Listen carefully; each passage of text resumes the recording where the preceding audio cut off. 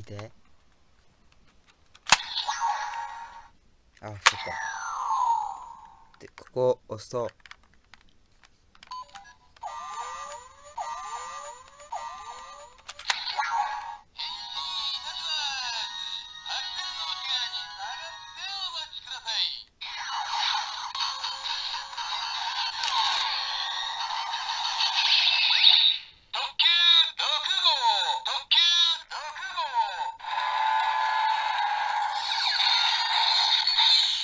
あのさ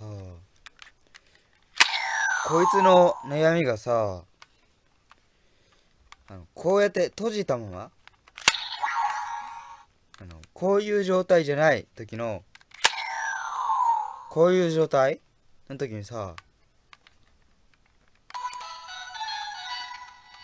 で音ちっちゃくなるのどうにかしてくれないかね。ほらこうやって開くとででかくなるのよ。もう対処法上がってそうだけどね。後で調べてみようかな。ということでじゃあ